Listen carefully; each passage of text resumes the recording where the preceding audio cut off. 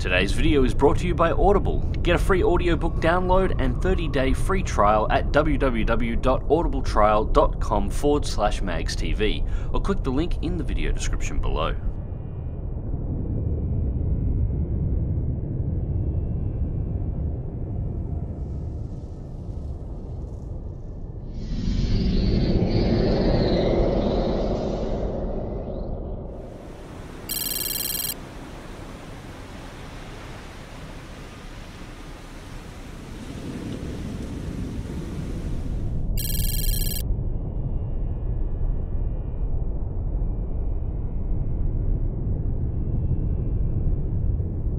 G'day, eh, ladies and gents, and welcome back to Cold Waters with Magz, and we are on a new mission. So, after the successful ambush of the Kirov and her task force, along with the cargo ship resupplying them, we received a mission to hunt down a Soviet submarine that was attacking ships within the region. Now, as it turned out, this submarine was not difficult to locate. It came at its full noise, revealing its location quite clearly, not far from where we sunk the Kirov in a task force. Now, whether or not she was coming to receive a resupply from the same tender that we sunk there, or whether or not she was coming to investigate what happened to the Kirov, doesn't matter. We know exactly where she is, and she has absolutely no idea that we're here. And we've just identified the targets. We have a Juliet and an Alfa. Now, this is an interesting combination. The Juliet is a diesel electric submarine that carries cruise missiles. The Alfa, on the other hand, is, well, it's one of my favourite Soviet submarines. It is an incredibly dangerous attack submarine.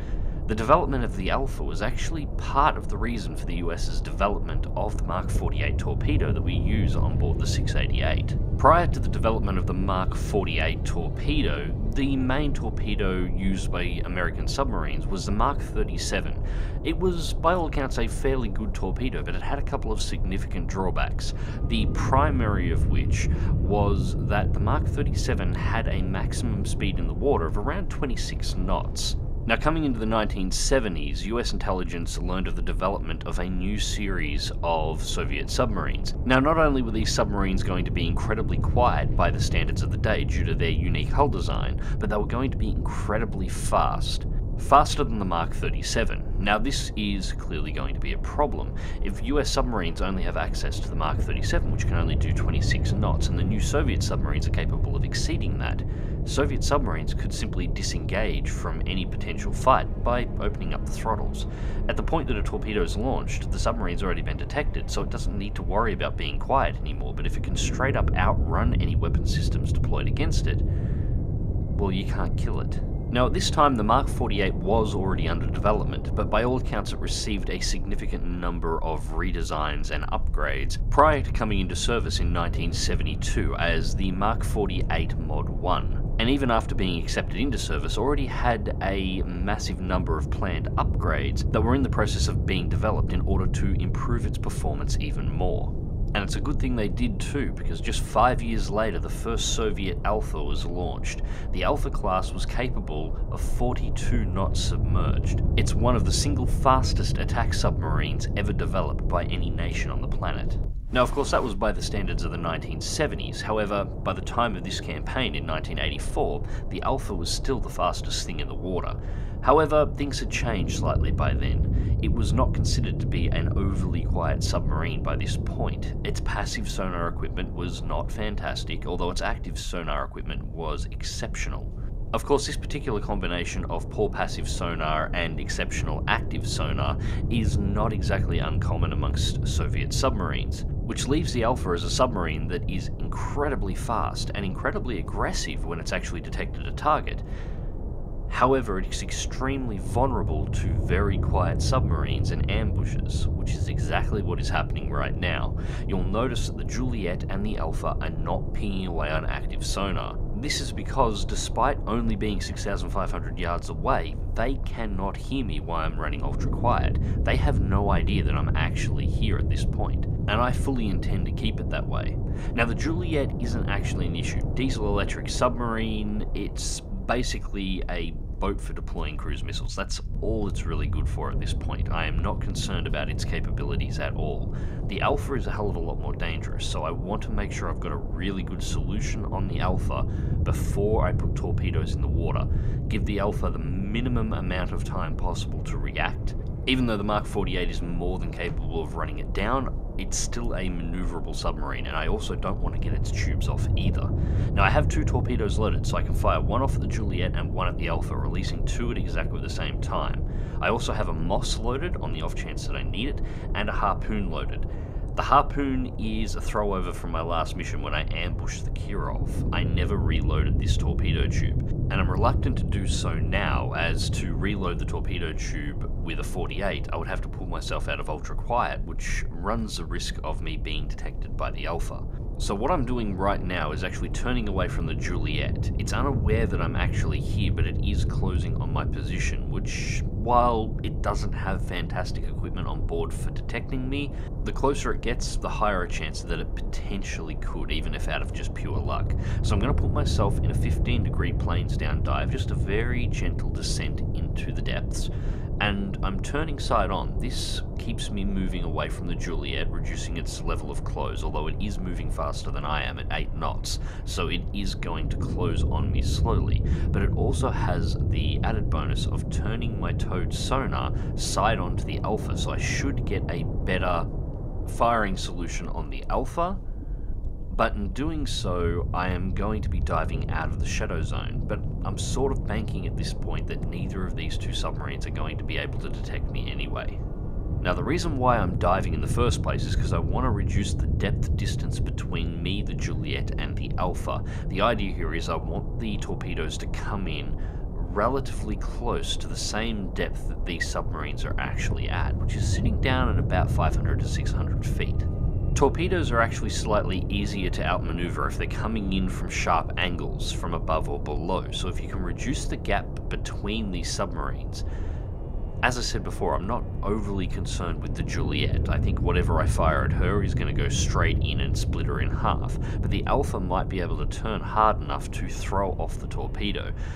While the Mark 48 is good, the Alfa is also very, very maneuverable, and if it manages to throw off the Mark 48 and the cable is broken, which is likely, I've had very bad luck with cables at this point, and the torpedo turns back, there is a chance that it could acquire me and I could wind up dodging my own torpedo, so I want to minimize the risk that this is actually going to happen. So at this point we have a 47% solution on the Juliet. Uh, this low solution despite the range is largely because she's almost in our baffles. But we're sitting on 58% with the Alfa at this point. The problem is the Alfa's down at almost 1,000 feet, about 950 give or take. Got 59% on it now, and this is still an incredibly high angle. So about three minutes have slipped by of quietly waiting just to see whether or not we get a better solution. And at this point, neither submarine seems to be aware of the fact that I'm here. Solution on the Juliet has slipped up to 55%, which is much, much better. And we've got a much better solution on the Alfa as well. She's just hit 85.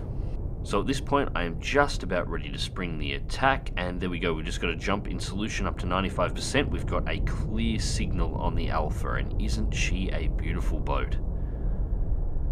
So at 95%, she's 12,900 yards away. The Juliet is significantly closer, inside of 6,000 yards at this point, inside of 5,000 yards actually, with 63%, which should be more than enough for a Mark 48 with active homing.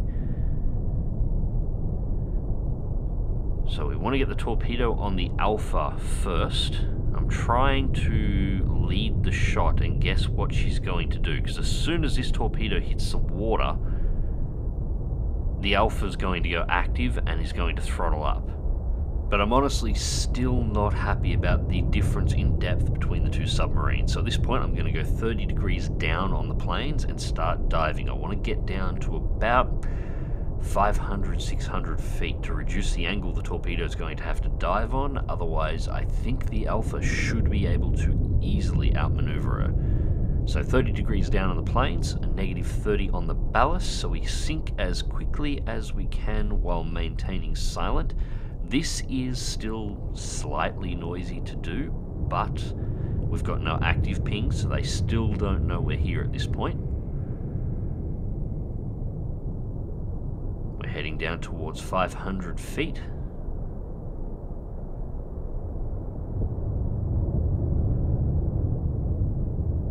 Passing 500, still diving. Now, at this point, we're about on the same depth as the Juliet, and we've jumped to 78% solution. I am very happy with 78 on the Juliet, still sitting on 95 on the Alfa, 79. So, passing 600 feet and heading down towards 700. So, at this point, we're going to back off on the planes and start backing off on the ballast as well.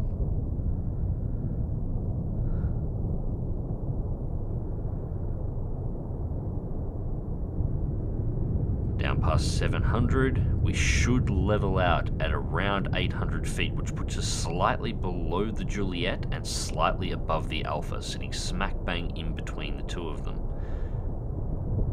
Now we're also 30 degrees full port rudder or full left rudder and this is because I want to bring the nose of the Los Angeles class around to face the Alfa. Not too concerned about the Juliet as I said, but I want to face the Alfa so that the cables on the Mark 48 won't break. At the angle that I would be firing from, I could fire on both of these right now, but in doing so I would pretty much guarantee cable breaks on both torpedoes and I would like to keep the cable on the torpedo for the Alfa as active as possible. And there we go, we've just got to 86% on the Juliet. And then the towed sonar comes into alignment with her and we jump up to 94 so we can now see her and she does appear to be heading slightly for the surface. Or at least she was. Now she actually appears to be diving, which is possible problem. She may have actually heard something, although she hasn't gone active with her sonar at this point. I see no chance of her firing a torpedo at this point, which is her loss because I'm about to. Mark 48, tube 1 in the water, heading towards the Juliet, change to tube 2. Now I'm going to fire about halfway in between us and the Alfa, so the torpedo goes live on the Alfa well in advance of actually reaching her, so that's a second in the water. And now we're out of ultra quiet. I'm reloading the Tomahawk with another Mark 48. The Mark 48 in tube 1 broke its wire, so we're reloading a torpedo there as well, so we have two more going into the tubes. The one heading towards the Alfa is still on cable at this point and the Juliet is live on sonar. So at this point, the Alfa and the Juliet are well aware that I'm here. Torpedo has gone active, and it has acquired the Juliet. We've lost a little bit of our solution. We can no longer see the Juliet, but she does appear to be turning away and running hard. Not that that's going to matter at this range.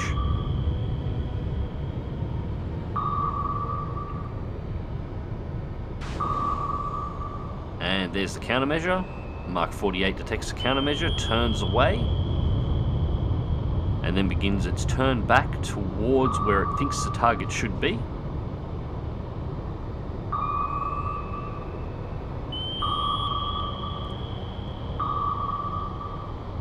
Looks like it's reacquired target. It's not where the sonar is saying that the Juliet should be on my end. But at this point, I'm pretty sure the torpedo can see better than me, and there is the impact, and we landed right on the stern of the Juliet. She was trying to turn away hard and took it straight in the rear. As Jingles would say, surprise butt sex. So that leaves the Alfa. Now the Alfa originally took a hard turn to starboard, trying to turn away from us before turning back to port. At this point, it looks like it's trying to cross the T with the torpedo, getting around it before it goes active. Now, we've still got a wire to the torp, so if necessary, we can guide it. However, it appears to have acquired the Alfa without any problems at all, although it is maneuvering a little, almost like it's trying to search. I've never actually seen a Mark 48 act like this before. Normally, once they've acquired a target, they'll head straight in on it appears to be leading slightly too far ahead. Although it could be in my imagination, the Alfa is running hard, Torpedo is coming in, and That's what I was worried about. The Alfa's going to dodge it. And it goes straight over, and that was close. So at this point, the torpedo is going to start its turn back to search, and I can take some control over it. We'll see... And it's reacquired. So I'm not going to take control of the torpedo at this point. I don't think I need to. Now it looks like the Alfa's now trying to ascend. It's going to try and force the Mark 48 to go underneath it. 48 still got good solution. You can tell by the pings getting closer and closer together. It's tracking well. Oh, it's right there. And you can see how fast the Alfa is, how long it's taking the 48 to actually close in.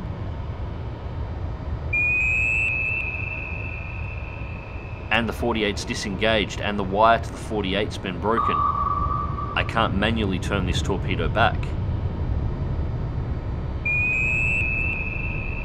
It's got an active tracking ping. It's acquired the wreck of the Juliet. It's going to go and torp the Juliet on the bottom. So the Alfa's managed to shake the Mark 48. This is exactly what I'm worried about. This is the first Alfa I've encountered in the campaign, but I've played against them in the single missions many times, and they are very slippery. They are very easily able to dodge torpedoes if you give them a little bit of room to do so. So, Torpedo tube 1 is away, another 48 in the water, and we're reloading tube 2. And we're 15 degrees port rudder, trying to bring the nose around at this point to aim towards the Alfa so that we don't break the cable on this torpedo, because as you can see, the manual guidance is kind of useful. And there we go, there's the first 48 hitting the Juliet. That was extremely well thrown by the Alfa. Now at this point the Alfa has gone to starboard rudder and appears to be trying to turn away. Looks like it's ascending as well.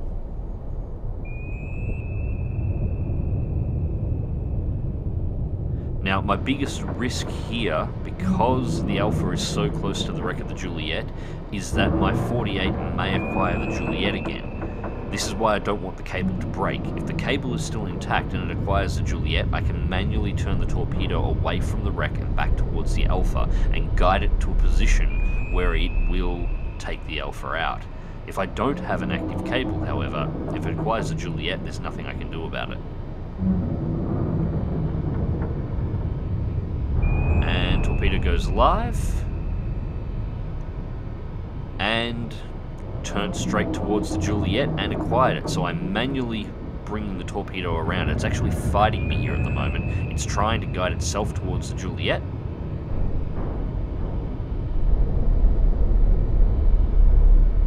But we've got the Juliet past its tracking cone now, and it seems to be tracking the Alfa without any problems. Attached, so if this misses, I can manually take control of it still. We've gone to 20% rudder to bring the nose around faster to try and keep this cable straight.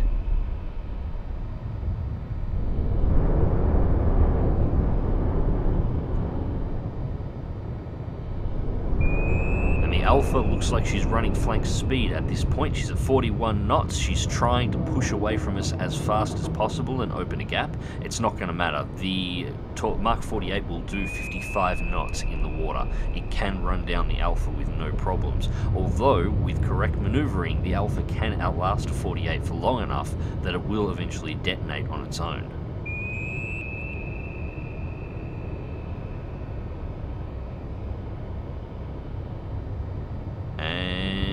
There's the knuckle.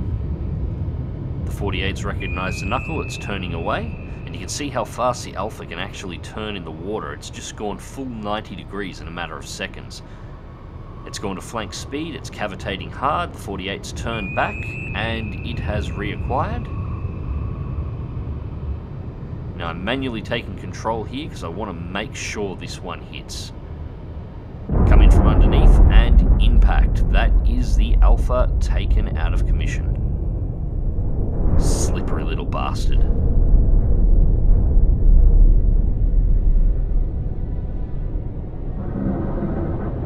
And with that we have mission complete. So the Alfa here didn't appear to put up too much of a fight, but it's worth keeping in mind that it had absolutely no idea I was there until I put my first two torpedoes in the water.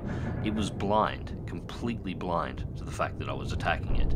An alfa that actually is aware of your location is a hell of a lot more dangerous, but what this does mean is that the campaign has stepped up a notch. We are now going into the far more modern submarines. And once again, we made the news, and it is good news, which is always nice. These little news reports are beautiful for letting you know exactly what's going on and exactly how you're performing in the campaign which unfortunately, despite my recent bout of successes, is apparently not going as well as I had hoped. Anyways, ladies and gents, I hope you enjoyed the video and thank you very much for watching. As always, please feel free to check out my link in the video description below to Audible, the newest sponsor to the channel. Audible is a fantastic company with over 180,000 audiobooks for you to choose from, including a great selection of the Tom Clancy novels, which, as many of you have noted in the comments section, has been a little bit of an inspiration in regards to how I'm actually editing these videos together. My link is www.audibletrial.com forward slash magztv and this will get you a 30 day free trial and a free ebook download of your choice. And for those who are interested in supporting the channel more directly, please feel free to check out my link to Patreon in the video description below as well. The Patreon will also get you a Patreon status on my Discord server. Anyways, ladies and gents, until next time, click that like button, subscribe if you want to see more, and as always, dive smart, dive safe, and I'll catch you in the depths.